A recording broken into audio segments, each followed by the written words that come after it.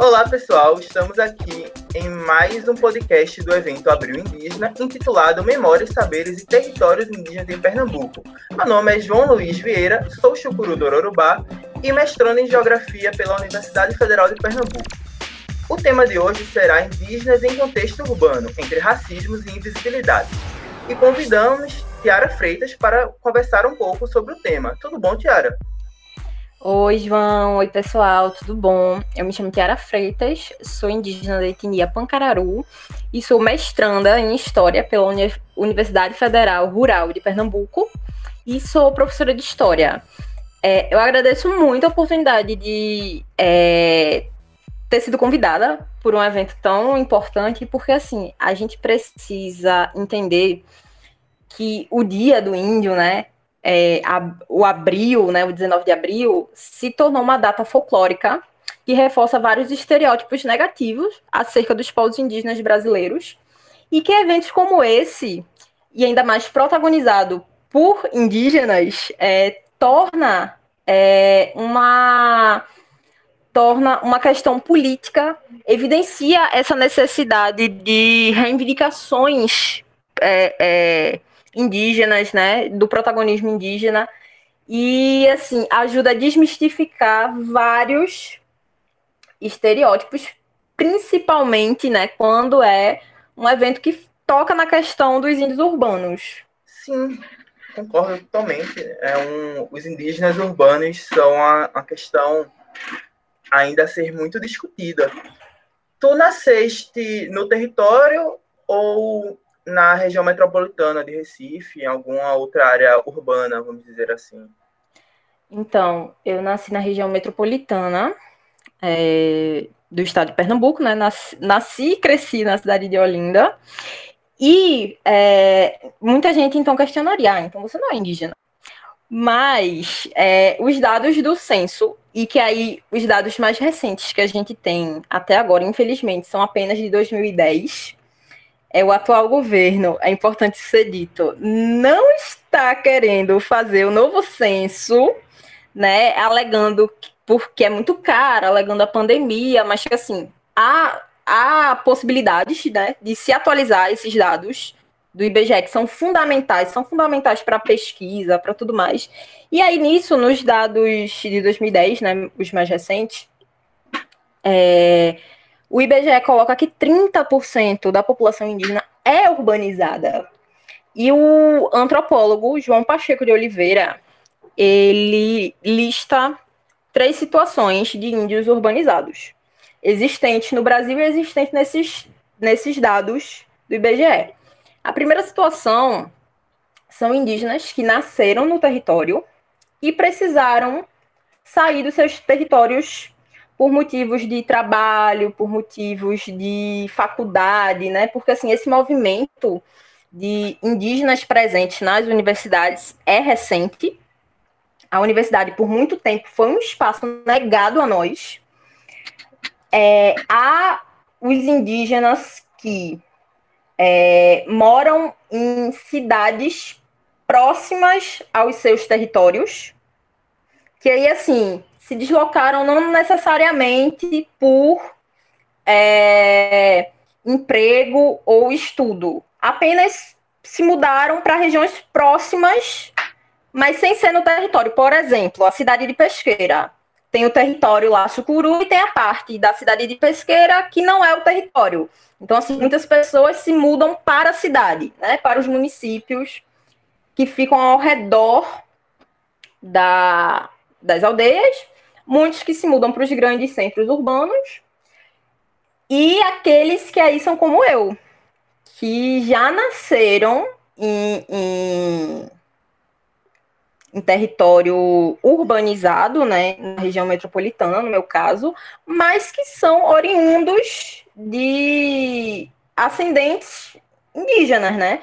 Avós, pais, bisavós indígenas e que essa referência étnica não se perdeu. E, e assim, não tem por que se perder, porque indígena é indígena em qualquer lugar, né? Porque a, a gente precisa pensar. Uma pessoa preta, ela vai ser preta, seja se ela tiver no meio rural, no meio urbano, se ela tiver no Brasil ou se ela viajar para outro país. Uma pessoa vai ser asiática, a mesma coisa, independente de onde ela se encontrar. Então, é, a identidade indígena ainda é vista como, entre aspas, algo transitório, sabe? Se você está no território, tudo bem, você é indígena, legal. Mas quando você sair, você deixa de ser. E outra coisa que é interessante ser chamada a atenção também é que aí, assim, a questão da invisibilidade, né? É, se, se é um grupo indígena que vive isolado na região norte, nossa, eles são super índios, eles são vistos ó, como muito índio. Aí, quando é, é grupos indígenas de outra região que não o norte, o nordeste, aí, ó, já não é tão índio quanto o índio do norte né, tentam colocar essa dosagem, sabe? Sim. Tentam colocar uma porcentagem, 100% índio, 80% índio, 60% índio. Então, assim, aí o do Nordeste já é lido por não indígenas, né, como menos índio. Aí a gente parte para os índios urbanizados no Nordeste. Nossa, aí, meu Deus, é menos índio ainda, sabe? E parece que se você, enfim, usa tudo que qualquer pessoa usa no seu dia a dia, internet, celular, relógio, você é questionado o tempo inteiro. Não, mas espera aí, você não é indígena? E aí eu pergunto, não, peraí, o Cristiano Ronaldo, ele é português? Ele é português, mas nem por isso ele anda de caravela. O Cristiano Ronaldo, por não andar de caravela, ele é menos português que o Pedro Álvares Cabral? Tipo assim, gente, se passaram 520 anos para todo mundo, sabe? Do mesmo jeito que se passou 520 anos é, é, para pessoas brancas, para pessoas pretas, passaram para os indígenas também, né? Querem sempre colocar o indígena nesse local de passado, seja para dizer que não existe mais, ou seja para dizer que, ó, tudo isso que você está reivindicando não é mais para ser pedido, isso era para ser pedido no passado, agora não convém mais. Quando falaste de João Pacheco, eu me lembrei dessas três situações de, também de pessoas indígenas que elas não têm esse conhecimento da presença indígena é, diretamente. Por exemplo, alguém que teve a sua família teve tanta essa identidade negada que não trouxe a essa pessoa que ele era indígena, e de repente ele acaba sabendo, né, por procurar saber quem foram seus ancestrais, e tenta esse movimento de resgate é, identitário, conhecer seu povo, tentar entender como foi tudo. No teu caso, já havia essa presença indígena na família é, sendo conhecida, já era conversado sobre isso, ou foi a identidade que foi aflorando aos poucos numa busca como é que foi essa construção da, da identidade indígena no teu caso? Então, sim e não. é, então, eu sempre cresci é, com não com a presença, né, mas com a memória. Eu sempre cresci ouvindo sobre o meu bisavô, né, que seria entre aspas o patriarca da minha família, o fundador da minha família, né, que sempre foi a minha referência ancestral. É, porém, ninguém se dizia indígena, sabe? Todo mundo sempre falava, né, com muito carinho, com muito orgulho, que ele era indígena. Ele fazia questão de dizer que ele havia nascido no território, que ele havia se perdido, que ele havia. Porque foi assim, quando ele era criança, ele, ele nasceu no território, quando ele era criança, ele se perdeu e foi adotado, criado por uma família de não indígenas fora do território, mas que ele nunca esqueceu é, das origens dele, né? E sempre fez questão de passar isso. E aí eu não sei porquê, ninguém nunca tomou para si essa identidade.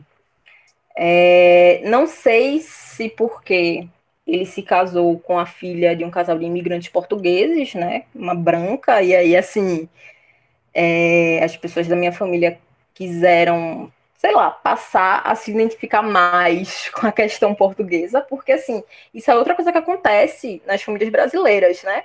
Há um orgulho muito grande quando se tem um antepassado europeu. Ai, não, porque eu tenho um tatara, tatara, tatara, tataravô italiano, porque eu tenho um tretavô português e às vezes tenho um avô, uma bisavó que é indígena. E isso não é visto como algo importante. É visto como algo trivial, sabe? Ai, esse índio tá aí sem querer. e aí, assim, é, essa memória dele, para mim, sempre foi tão importante. E aí, assim, eu sempre na minha vida, é, eu sempre fui lida como uma pessoa parda, né? Essa questão do pardo, pardo. A questão da autodeclaração é uma questão política, é uma questão social, é uma questão de, olha, é, por muito tempo as pessoas da minha família foram negadas o direito de se dizer indígena. E eu não vou deixar que isso aconteça comigo. Eu não vou permitir que a perpetuação da negação do meu direito seja negado. Independente se é, 100% da minha família não é indígena. Sabe? Eu não posso contribuir com a manutenção dessa tentativa de apagamento é, é, indígena. E aí, assim, é, é triste, né, que muitas pessoas é, se identifiquem, tenham uma memória ancestral muito forte, tenham um laço forte, tenham um pertencimento forte, mas tenha medo, tenha medo, tenha vergonha, tenha receio. É, eu já vi muita gente dizer, ai, não, eu tenho medo de dizer que eu sou indígena e as pessoas acharem que eu quero ganhar alguma coisa. Eu digo, não, relaxa, e é outra coisa que o Estado também não oferece a povos indígenas, tanto os aldeados quanto os urbanizados, a segurança. Sim. É uma prova de ser a questão da vacinação, sabe? Tá tramitando, né, que assim, é, indígenas urbanos vão poder ser prioridade na vacinação, mas eu fico me perguntando qual, qual vai ser os critérios utilizados? Será Vai que eles vão se basear... uma declaração, Será que eles vão se basear em, em fenótipo? Porque outra coisa que a gente precisa pensar também. Como é violento, né, se cobrar pureza étnica de pessoas indígenas e que aí, assim, como se criou um estereótipo do que é ser indígena. Ser indígena é ter uma memória ancestral, é pertencer a um grupo indígena, é ter laços afetivos e aproximação com um determinado grupo indígena, né, é ter ascendência, digo, não, é simplesmente parecer com a do filme. Precisamos lembrar novamente dos processos violentos de miscigenação é, que atravessou a história do Brasil. É, é óbvio que no que houve mulheres indígenas violadas durante muitos anos, é óbvio que vai haver pessoas indígenas que, mesmo as que nasceram em territórios indígenas, que vão apresentar traços que a gente entenderia como é, de uma pessoa branca. Né? Você vai ver indígenas de olhos claros, de cabelos claros, com a pele mais clara, mas que a pessoa não deixa de ser indígena, não é menos indígena por causa disso. E aí, é outro exemplo que eu, que eu uso também. Vamos pensar numa pessoa preta. Pronto, essa pessoa preta, é, afrodescendente, ela tem os olhos verdes. A cantora Rihanna, pronto, ela é uma mulher preta que tem os olhos verdes. Ela é menos preta por isso? A negritude dela é medida pelos olhos verdes dela? Aí vamos pegar outra mulher preta, a Camila Pitanga. Ela tem os cabelos lisos. Ela é menos preta por causa disso? A negritude dela é diminuída pelo cabelo liso dela? Não. É. Mas por que que isso acontece com pessoas indígenas? Sabe? Por que que quando uma pessoa indígena tem o cabelo cacheado, ah, nunca vi índio de cabelo cacheado. Porque quando uma pessoa indígena tem os olhos claros, isso é índio. Claro que isso tá, ó, querendo pensão da FUNAI. Que eu acho que é a, a maior lenda desse Brasil. É que índio recebe dinheiro por parte do Estado. Gente, não tem, não tem política pública, os direitos, né, que não são favores, são direitos é, é, de um Estado que nos viola há 520 anos, ainda é muito pouco, ainda é muito escasso, sabe? É, o, o protagonismo indígena na questão da reivindicação de direitos ainda é muito pouco ouvido, sabe? Infelizmente. E só para finalizar essa questão, né, dos fenótipos, né, como é cobrado essa questão de fenótipos de pessoas indígenas, tem um, um um parente chucuru que eu conheci, que aí assim, ele tem todo o estereótipo padrão de uma pessoa indígena, porém ele tem os olhos verdes. E aí ele falando, é, ninguém na minha família tem os olhos verdes. Então, provavelmente, isso é de algum antepassado europeu que provavelmente violou algum antepassado indígena minha, né? Então, assim, o que muitas pessoas julgam como bonito, né? Porque, assim, a nossa concepção de beleza é muito embranquecida, né? O que é bonito, né? É o cabelo claro, é o olho claro, são os traços finos que lembram, né, uma questão europeia. E falando, e os olhos claros que muita gente acha bonita, na verdade, no meu caso, é um símbolo de violência. É uma mácula. Né? E aí, assim, como se cobrar pureza étnica de contextos tão violentos, sabe? E que isso se reflete é, é, também na questão da aparência física, né? É, é, muito, é muito racista, né? Essa questão de você negar a identidade de alguém porque ela tem um cabelo cacheado, tem um cabelo claro. Tipo assim, a nossa identidade se resume a um tipo de cabelo ou uma cor de olho. Assim, para ninguém isso acontece. Por que, que só para os indígenas, sabe? Sim, Por que, que só indígenas são negados por traços físicos?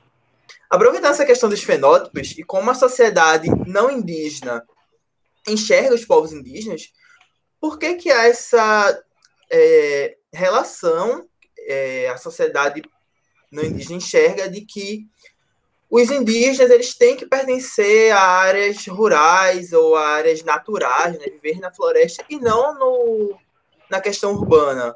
E aí, como é, qual é a dificuldade de ser indígena urbana no meio disso tudo? Falasse das questões das políticas públicas, como é essa relação também com com outras pessoas indígenas, né? Como, como se dessa interação social indígena num contexto urbano? Então, é, novamente, eu acho que é uma tentativa de apagamento da identidade indígena. São vários os mecanismos, sabe, de tentativa da, da negação dessa identidade. Então, assim, o fato de, por anos e anos, não haver a categoria de indígena no censo, é, essa noção de que, para ser indígena, você tem que ter um padrão físico de aparência X. Então, assim, você negar a identidade indígena de uma pessoa indígena porque ela saiu do território e foi para contexto urbano é mais uma tentativa de negação dessa, dessa identidade. Mas por que tanto essa necessidade de negar a, a identidade indígena? Para se negar justamente direitos, políticas públicas, né?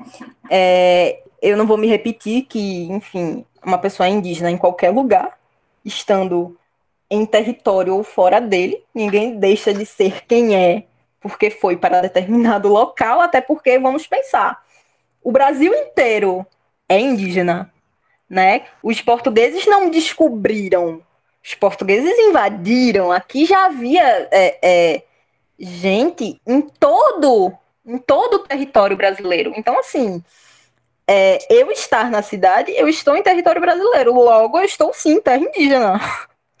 Sabe? Eu, eu, pelo menos, penso assim. E aí, assim, eu nunca fui questionada, minha identidade indígena nunca fui questionada pela minha aparência. Inclusive, assim, eu me declarava enquanto uma pessoa parda, ninguém questionava. E aí, quando eu falava, né, da minha ancestralidade indígena, todo mundo falava, nossa, faz super sentido, nossa, você parece muito mesmo. Então, assim, em termos de aparência, é até entre aspas, assim, eu, eu não chamo de privilégio, sabe? Eu não chamo de privilégio não ser negada pela minha aparência, porque assim, é, se tem gente que é negada enquanto indígena por causa da aparência, logo eu, eu não ser negada por causa disso não é um privilégio, né? Mas assim, pela minha aparência eu nunca fui. Porém, é, quando eu tô com celular, quando eu não tô usando nenhum adereço, colar, brinco indígena, é, quando eu tô de relógio, né? Aí vem sempre aquele, nossa, mas você tem celular? Você usa relógio? Por que, que você não usa nenhum brinco de pena? Ah, gente, porque às vezes eu não quero. Olha só, que, que coisa. Por que, que você usa celular? Comunicação, gente, é importante. Isso que índio se comunica por sinal de fumaça, isso é mentira, isso é lenda. a gente se comunica normalmente, do mesmo jeito que qualquer pessoa não indígena. E outra coisa que me incomoda muito também é que, vê, não sei se tu já percebeu isso, mas que a negação é, de identidade indígena sempre vem, sempre vem de pessoas não indígenas. Sim. E vamos lá. Parentes que eu conheci de outros povos e que são aldeados, não são urbanizados, nunca me negaram. Muito pelo contrário, eu sempre fui super, super acolhida. Eu, eu já fui para outros estados e fui super bem recebida, enquanto indígena. Mas só quem nega, só quem questiona são pessoas não indígenas. Sabe aquilo? É querer medir o outro pela sua régua. E assim, sempre sempre querer dar essa noção de mais índio e menos índio, sabe? Assim, isso não há entre indígenas, sabe? É, é, eu nunca questionei a identidade indígena de nenhum parente. Nem nenhum parente nunca me questionou também, independente, independente de como eu tô vestida, se eu sou urbanizada, eu sou aldeada, da aparência de alguém, sabe? É sempre por parte não indígena. E aí eu pergunto, qual é o direito que eles têm de negar e questionar a nossa identidade? Se, se nós não fazemos entre nós, por que, que alguém de fora se vê no direito de fazer? Já chegou num ponto de pessoas não indígenas repararem essa cobrança que existe de não indígenas aqui cobrarem a sua identidade, que você sempre demonstre da maneira que eles querem, né? Porque Isso, é. demonstrar identidade, você, como ser existente, já está ali na sua identidade, né? A gente está manifestando. E essa cobrança de ficar, é, não, porque você tem que fazer de tal jeito porque você é indígena, você não pode fazer isso, você tem que fazer assim. Enquanto no território ninguém faz nada, você é completamente acolhido, é, você é nosso, é, é aqui, ó, é do coletivo, bora, fechou o coletivo, é a gente, vamos ali plantar, vamos ali colher. E estar eu, todo mundo junto, o sentimento de comunidade, né? Eu penso assim, se eu me reconheço enquanto tal, meus parentes indígenas me reconhecem enquanto tal, e o meu povo, principalmente, me reconhece enquanto tal e me acolhe enquanto tal, então não é nenhum não indígena que vai negar a minha idade, que vai querer dizer que eu não sou quem eu digo ser, sabe? Eu, eu não tenho que defender a minha identidade indígena para é um, um, não indígena validar. Eu não preciso ser validada por um não indígena, sabe? Isso é muito importante, a gente sempre tem em mente. Quando eu estava no meu TCC, né, algumas entrevistas, e uma das perguntas era bem capciosa, que era o que é o ser indígena? E um rapaz olhou assim e respondeu: Bom, primeiro você tem que se identificar como indígena, Segundo, você tem que ter uma ancestralidade indígena. A comunidade tem que lhe aceitar como indígena. E o quarto, que talvez seja o mais importante, é você viver a comunidade indígena. Você não precisa estar lá para viver a comunidade indígena, mas estar por dentro dos costumes, das tradições. Você pode vivenciar isso em outros lugares, mas tem que estar alinhado a, aos princípios da sua etnia, como as coisas funcionam, como é a gestão do território. E foi isso que eu levei para minha vida de, do como ser indígena, né? Porque às vezes a identidade do indígena urbano é tão abalada, é tão questionada que você fica, bicho, o que é isso? E escutar frases como essas é que lhe incentivam de que não, se a pessoa que está de dentro ela fala isso de mim, não é os que estão de fora que vão conseguir me abalar. É, foi importante Sim. na minha trajetória de fortalecimento identitário esse tipo de conversa, esses diálogos para uma reivindicação étnica mesmo. Né? Eu sempre soube que, que eu era indígena, na verdade, como descendente, né, a, essa tentativa, e essa transição do descendente de indígena para indígena, ela, ela tem etapas, não é tão fácil. Há várias situações de indígenas urbanos, né? a minha foi, foi essa. E mesmo eu estando presente no território, tudo mais, morar numa área afastada traz sempre esse questionamento. E superar faz parte do, do processo. Sim, sim. E assim, é uma questão também de fortalecimento mútuo, né? Quando eu estou em contato com outras pessoas indígenas e com outros parentes que também vivem em contextos urbanos, eu me sinto muito fortalecida, sabe? Porque são pessoas que eu me identifico, são pessoas que têm uma trajetória e uma história e um modo de pensar muito parecido com o meu.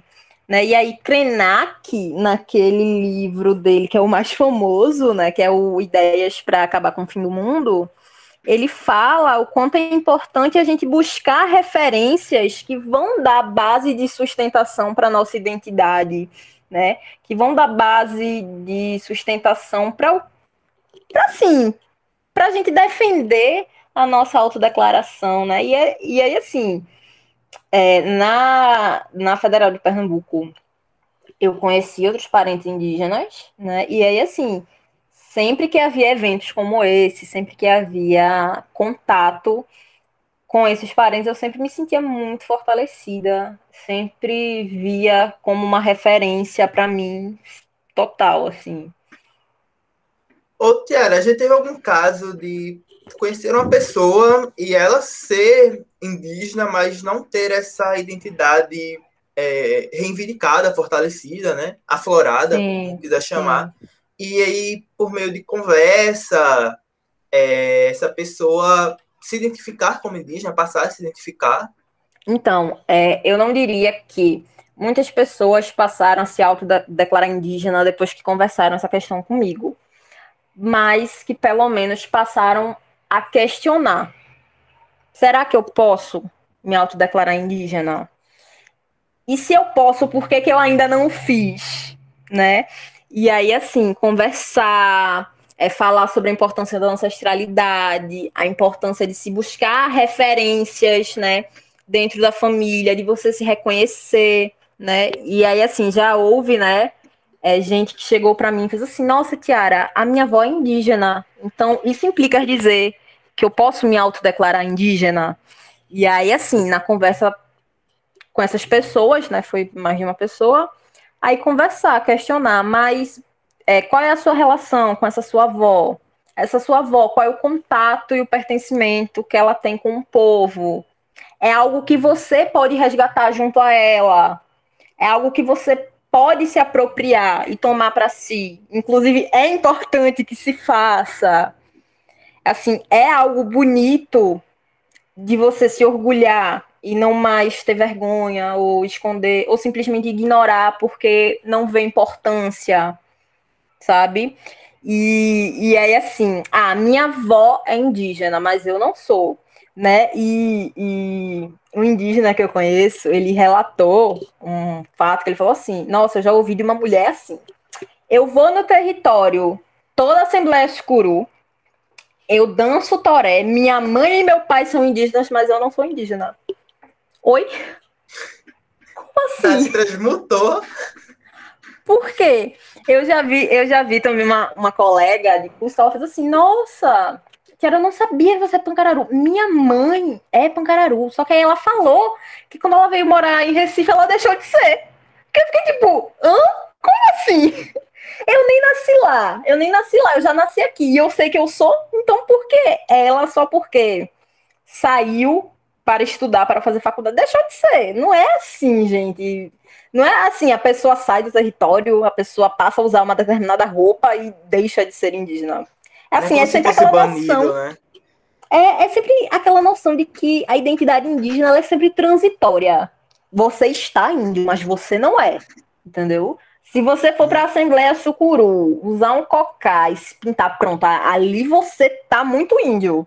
A partir do momento que tem um evento em Recife, você vem para esse evento, você tá de relógio, tênis, calça jeans, com celular pronto. Aí você não tá índio. Nessas, no trabalho, na própria universidade, né, nas, nas esferas sociais em geral, como se dá esse teu contato com pessoas não indígenas em momentos delicados ou se manifestaram algum tipo de preconceito ou ainda que é muito comum que é você falar alguma coisa e uma pessoa não indígena questionar. E você, não, pera, mas eu sou indígena, é o meu lugar de fala. Se aconteceu já algo sobre isso, como foi, como foi resolvido também. É, eu já me deparei em poucos momentos, não foi sempre, com pessoas não indígenas que meio que queriam me ensinar a ser indígena. Tipo, oi, tudo bom? tipo, não, olha, Tiara, por que você devia. Gente, eu. peraí, peraí. Não é você quem vai me dizer é, o que eu devo usar, o que eu devo fazer para, entre aspas, preservar a minha identidade. Até porque, vamos lá, identidade, cultura, essa questão de preservar é mais uma vez levar ao passado. Ai, não, para preservar a cultura tem que viver como em 1500. E aí, assim, é, essa questão, é, eu nunca fui negada, né, pela minha aparência, mas eu sempre escutei essas coisinhas. Nossa, mas por que você não tá usando brinco de pena? Nossa, mas você com um celular desse, indígena, nossa, é, você acha, você não acha meio estranho, não? Eu, não. Não acho, não.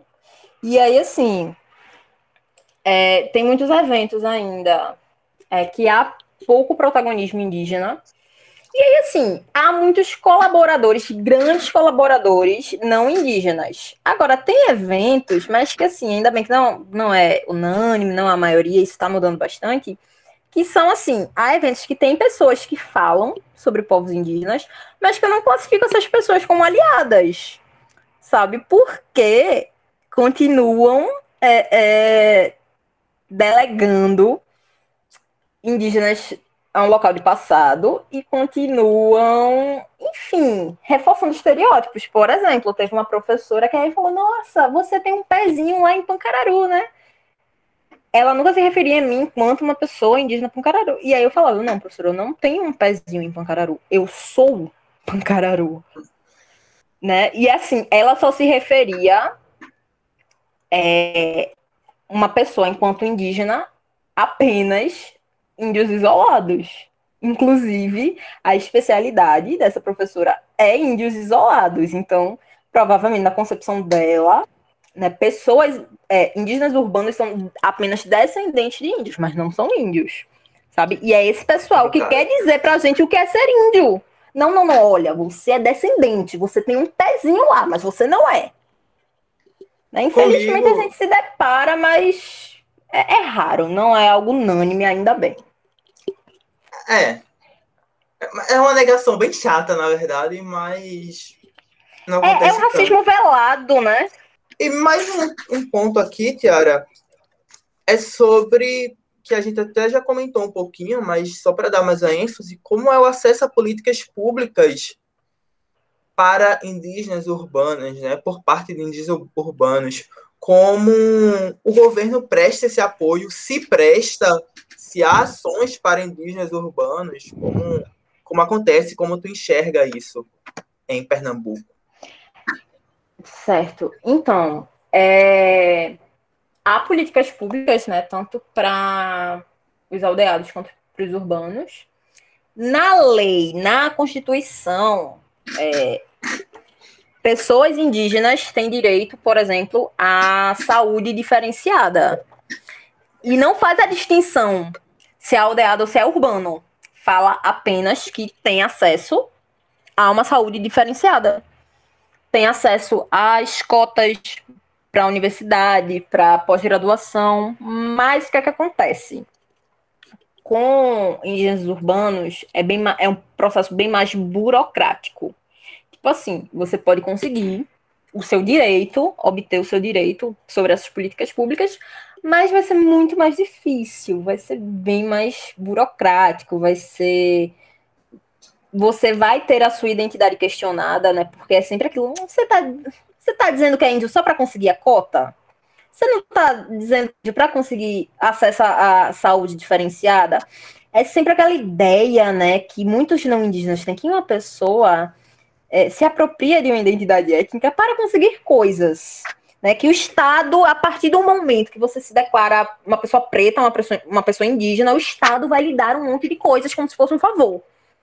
Primeiro, são populações que por anos foram e ainda são marginalizadas, foram e ainda têm seu acesso há espaços como a universidade super dificultados pelo próprio Estado. E aí, assim, uma pessoa achar que você quer reivindicar essas questões porque quer algo fácil, assim, é tão contraditório, sabe? Assim, é um processo burocrático, é um processo super violento de negação e, e uma pessoa não indígena acha que você está conseguindo as coisas, que você está se aproveitando, que você está agindo por conveniência, sabe? Isso é muito contraditório. Então, assim, há a possibilidade e o acesso a políticas públicas. Há. Porém, para os indígenas urbanos é bem mais é bem mais burocrático, porque a identidade vai ser sempre colocada em xeque. Ainda mais, ainda mais se você não tem o padrão de aparência da indiazinha Tainá. Por exemplo, uma grande parente minha, uma grande amiga, né, a Paula, a Paula Fernanda Pancararu, ela é neta de uma das lideranças do povo Pancararu e ela veio estudar na Federal Rural. E aí ela falando que para ela conseguir a bolsa de auxílio estudantil, se declarando enquanto uma mulher indígena, foi super difícil. As pessoas questionavam o tempo inteiro, foi super burocrático. Mesmo ela ap apresentando uma declaração formal do avô dela, que era uma das lideranças do povo, e foi super complicado. Agora, tudo isso por quê? Mesmo ela tendo nascido em território, tendo crescido em território, tendo saído do território apenas para estudar. Porque ela tem a pele que a gente entenderia como de uma pessoa branca. Né? E muita gente questionando: ah, essa menina é branca e tá dizendo aí que é indígena para conseguir bolsa. Né? É sempre essa ideia, né, de que a pessoa reivindica direito, não por reparação histórica, não porque são pessoas que ainda, né, é, é, passam por dificuldades por conta do Estado, por conta da, da cor, da aparência, da, da etnia que, que a pessoa se apresenta para conseguir coisa. Sabe? Isso é bem cômodo. Sim, quando eu fui me vacinar, é, a vacina de gripe normal, logo no início da Covid, ano passado, foram questionar por que, que eu estava ali que, na idade mais antiga, né? Era pessoal idoso, diabético e indígena. Eu cheguei, fui, passei, quiser questionar. Eu tenho uma declaração que eu precisei para fins acadêmicos. Só uhum. que não é necessário essa, essa declaração, um certificado de indígena o quão surreal, o quão surtado você tem que estar para acreditar que uma pessoa precise de uma declaração de que é algo. Porque isso, algo não, isso é uma, acredita. Isso é uma herança da ditadura. Isso é uma herança da ditadura. Porque, assim, antes da Constituição de 88, tinha que ter a, aquela famosa carteirinha do índio. E os índios eram tutelados pelo Estado. Então, assim, o indígena não era um cidadão brasileiro, sabe? O indígena era como se fosse uma criança. O, o Estado detinha a tutela daquela pessoa. Então, assim, muitos indígenas não podiam tirar passaporte. Olha que coisa. Gente, isso é muito colonial, isso é muito racista, sabe? Assim, vários direitos negados. Por quê? Ah, porque eu sou indígena. Na ditadura, muitos índios eram presos por bebedeira e desordem. Tipo, ah, você bebeu e fez alguma desordem, você é preto, tudo bem, você não vai preso. Você bebeu, fez desordem, você é branco, tudo bem, você não é preso. Ah, indígena, cadeia. Sabe? Então, assim, uhum. essa questão de ter que apresentar declaração, ter que apresentar. Isso é requisitos, né? Isso é uma herança colonial, né? É, o Brasil ainda tem uma mentalidade muito colonial. A a sociedade, a população brasileira não indígena ainda reproduz muito colonialismo, sabe? Esse pensamento colonial é, também marcou presença na ditadura brasileira, né?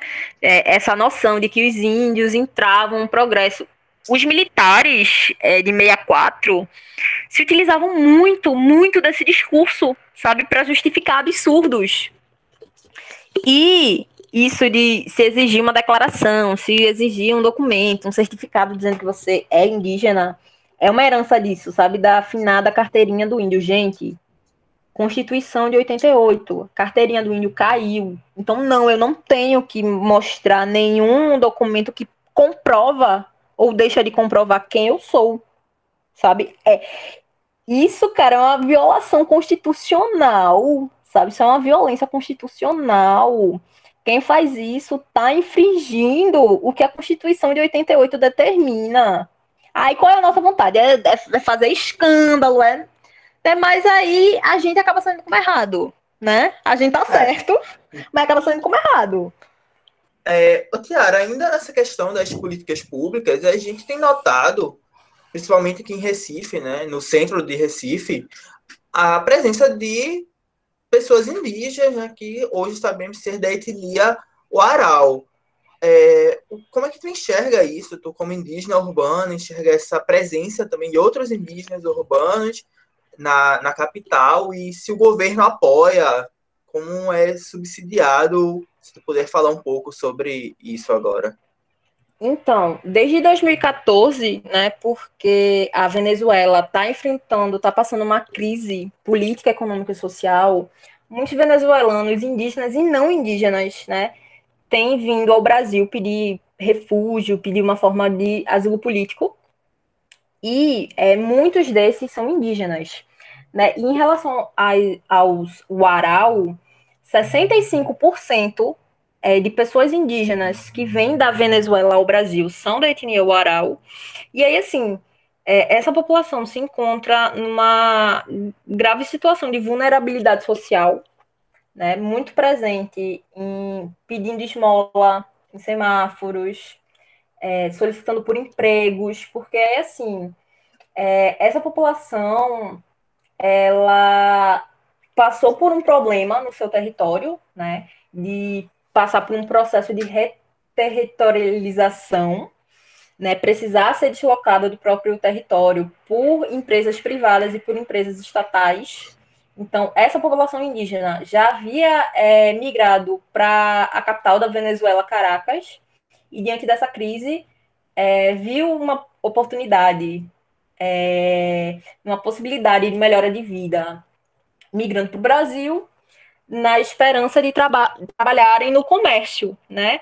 Mas infelizmente o Brasil se encontra em um dos seus maiores índices e recordes de desemprego, né? E infelizmente essas pessoas estão é, assim se virando com a própria sorte, né? Estão dependendo é, quase que exclusivamente de doação, doação de roupas, de dinheiro, de comida, é, pedindo emprego, não sei se alguma parte deles conseguem esses, esses empregos temporários, né? O famoso bico, né? Assim, é uma situação bem complicada e os o Aral, eles estão distribuídos atualmente em todo o território brasileiro.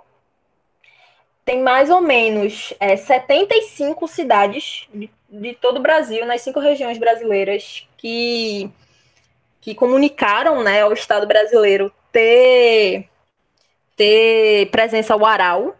E aí, assim, é, muitos, inclusive, têm até voltado para a Venezuela porque não estão contentes com, assim, com a atuação do Estado brasileiro, com as políticas de acolhimento é, é, por parte do Estado brasileiro. E, assim, vamos pensar que se os próprios indígenas brasileiros são rechaçados e sofrem muito preconceito dentro do próprio país, a gente deve imaginar que para indígenas de, outra, de outro país, né, que além de indígenas também vão ser vistos como imigrantes, né, é ainda mais complicado, né? E que aí fora indígena, que aí tem toda essa ideia de que ah, o indígena só quer receber do Estado, ainda por cima eles carregam essa carga de imigrante, né? Nossa, o imigrante está um... aqui para roubar os nossos direitos. Só um adendo é que não vai ser o imigrante europeu ou estadunidense, né? Ele vai ser o refugiado mesmo, é, visto com que ainda tem outra carga, não é meramente se fosse imigrante italiano, provavelmente estariam de braços abertos para recebê-lo, né? Mas é um, não, um refugiado indígena venezuelano. Se incomodam tanto com os indígenas brasileiros, quanto mais né, com indígenas que vêm com essa carga né, de imigrante, né, que é como você bem colocou mesmo. Se fosse um imigrante italiano, todo mundo estava achando o máximo, estava oferecendo emprego, né? E aí, assim, não interessa o que a pessoa sabe fazer, não interessa se a pessoa é um profissional qualificado, não. Ela é indígena e ainda por cima, né, é da Venezuela, né, que é um país que a sociedade brasileira demonstra muito preconceito, né, referente à, à crise, né, que a Venezuela está passando e ao invés de acolher, não, pioram ainda mais uma situação que já está difícil, né, de pessoas que assim se viram obrigadas a sair do próprio país, né, tentar uma vida melhor e a própria sociedade acaba agravando ainda mais, infelizmente. É, bastante complicado.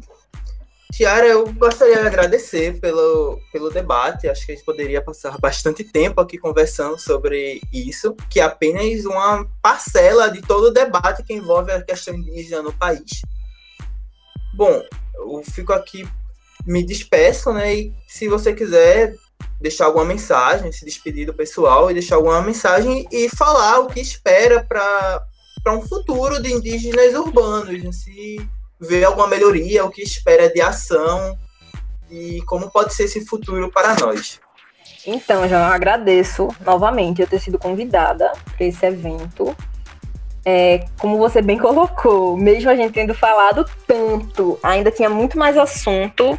Essa questão né, da pauta indígena é muito mais complexa, muito mais abrangente, né? E aí, assim, as minhas expectativas é que indígenas urbanos passem a ocupar cada vez mais espaços como esse. E que aí, assim, a gente só pode ocupar esses espaços se a gente tiver oportunidade. Né? E aí, assim, eu quero ver indígenas urbanos é, ocupando espaços que histórica, histórica e socialmente foram negados por muito tempo. Eu quero ver professores universitários indígenas, eu quero ver jornalistas indígenas, sabe? Eu quero a gente ocupando vários espaços e eu quero, assim, a garantia, né, a longo prazo, que a gente vai ter oportunidade. Né? E espaços como esse são bem importantes para dar visibilidade a essa necessidade, porque assim, é, você bem colocou, né, da dicotomia que há no Brasil, que ou você é branco ou você é negro, automaticamente. E que não é assim. A gente precisa lembrar que a nossa população é bem mais plural do que apenas negros e brancos. Tem indígenas, né? Por favor, não esqueçam da nossa existência. Não nos mate no discurso. Há ciganos, há muçulmanos, há judeus, sabe? E assim, é, todas essas pessoas é, é, precisam reivindicar seus espaços e ocupar espaços historicamente negados. Seria isso. Isso. Valeu, Tiara. Valeu todo mundo que ouviu até agora. E tchau, tchau.